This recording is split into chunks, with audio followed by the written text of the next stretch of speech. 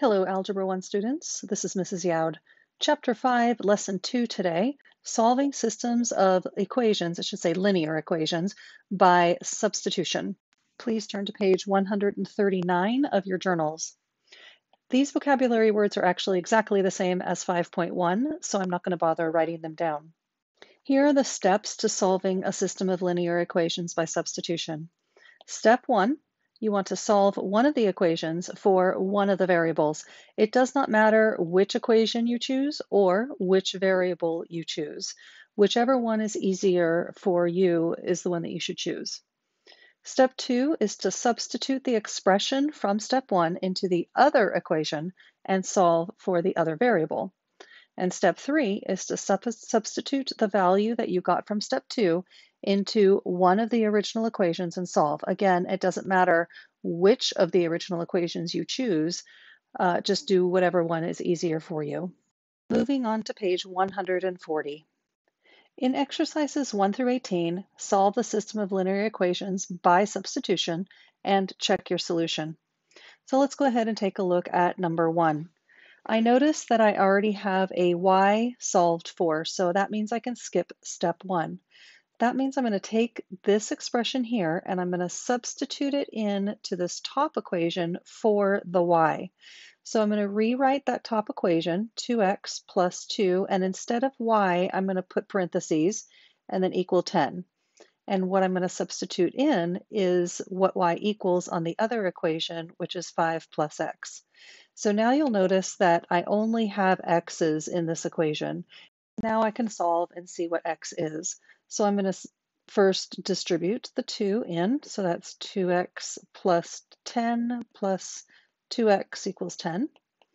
And then I'm going to combine like terms and go ahead and subtract 10 here and here. So if I combine those two together, I get 4x is equal to 0. And if I divide by 4, I see that x is equal to 0. So that means that I know that part of my answer is 0 for x. So that means that 0 comma something is going to be my answer. So now I need to find out what the y is going to be. So I'm going to take my x and I'm going to substitute it into either of these two equations. Now it's easier to do the bottom equation. So that would be y is equal to 5 plus x, and I had x is equal to 0. So that's going to be 5 plus 0, which is 5. So that means y is equal to 5. So I can put that into my answer box. Now to double check this, 0 comma 5, I'm going to plug it back into the original equation. So we already plugged it into this equation here. I know that that one's going to work, but I'm going to do the top equation just to make sure. So I have 2 multiplied by x, which is 0, plus 2 multiplied by y, which is 5, equals 10. So 0 plus 10 equals 10, and that does indeed work. So I know that it is correct. Let's go ahead and take a look at number 3. So on number 3, we already have x solved for. It equals y. So I'm going to take this y and substitute it in for the x on the other equation. So I'm going to rewrite that first equation. Instead of x, I'm going to write y, and then minus 3y equals negative 1. So now I can solve. So that's negative 2y equals negative 1. So y is equal to positive 1 half. So now I know that my answer is going to be 1 half is going to be what my y is. And now I'm going to plug it into either of the two equations up on the top. So I look and I see that it's easier to plug into the bottom equation. So my x is equal to y, which we got as 1 half. So that means x is also 1 half. So my answer is 1 half here. So I know it works for the second equation. I'm going to plug it into the first equation just to make sure that it works. So x is 1 half minus 3 multiplied by 1 half equals negative 1. So that's going to be 1 half minus 1 and 1 half equals negative 1, and that definitely does work two. I'm going to have you try number two on your own, but I'm going to give you a hint. You're going to take this x, since that's what x is, and you're going to substitute it in for the x on the first equation. Go ahead and pause the video and see if you can finish number two on your own. For number two, I got 1 comma negative 1. If you did not get that, please pause the video and see if you can find your mistake. I would like for you to try number four, five, and six on your own. Pause the video and then turn it back on when you're done. For number four, I got one comma two. For number five, negative two comma negative one. And number six is negative two comma one. Please pause the video if you got anything incorrect and see if you can find your mistake. Sometimes, like on number seven and eight, you're going to get them both equaling to y. So that's not a problem. We still need to take one of our y's and plug it into the other y on the other equation. And so that's going to be negative 2x is equal to 2x plus 8. And then we need to solve from there. So I'm going to subtract 2x on both sides. And I get negative 4x is equal to 8. Divide by negative 4, so x is equal to negative 2. So now I'm going to plug it in, and it doesn't matter, remember, which one I plug it into. I'm going to go ahead and do the second one. So y is equal to negative 2 multiplied by negative 2, which is positive 4. So my answer is x is negative 2 and y is positive 4. Remember to always write your answer in a point form, xy. I'm going to go ahead and plug that into the first equation there just to make sure it's correct. So we have 4 is equal to 2 times negative 2 plus 8, and that does indeed work. Number 9, so I have y is equal to 4. So this time I just need to plug in a 4. And so we get 2x minus 3 multiplied by 4 is equal to 0. So that's 2x minus 12 is equal to 0. So 2x is equal to positive 12. x is 12 divided by 2, which is 6.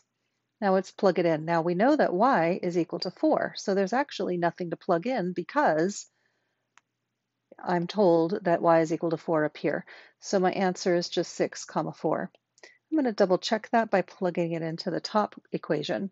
So 2 times 6 minus 3 times 4 equals 0. So we have 12 minus 12 equals 0, which is correct.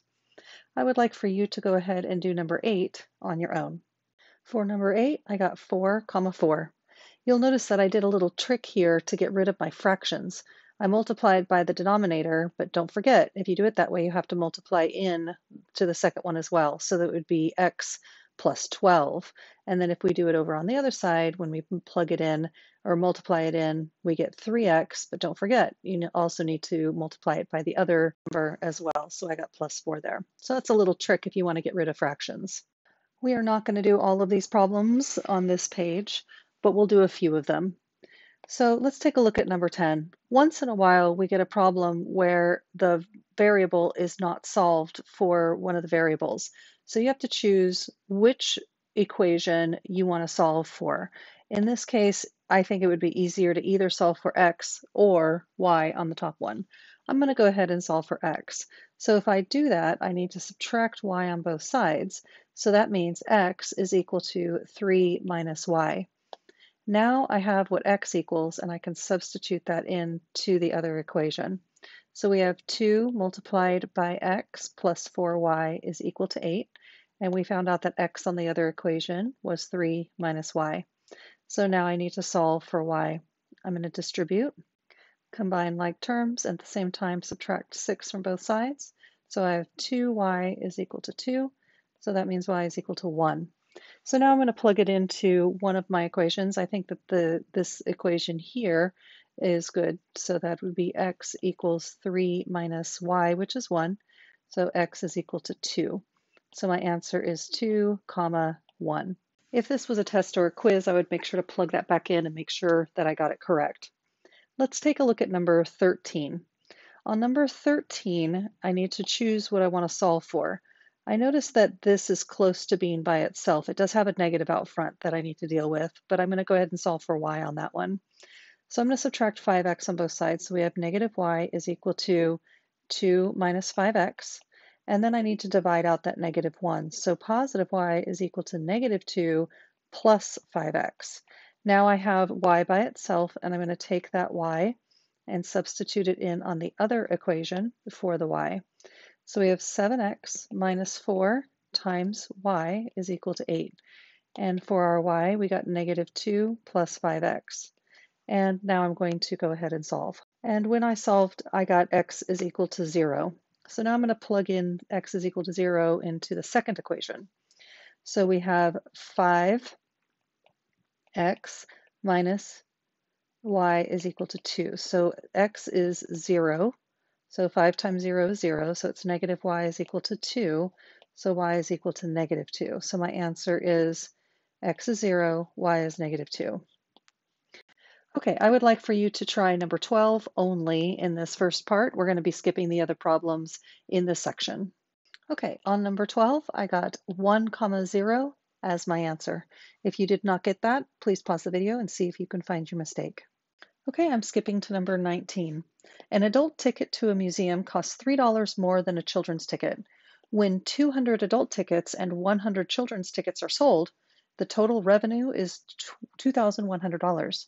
What is the cost of a children's ticket? So I need to write my equations. I'm going to start by looking at this first sentence. So we have an adult ticket. I'm going to call that A to a children to a museum costs three more dollars than a children's ticket. So I'm going to call that C. So that means that A is going to be three more than the child's ticket C.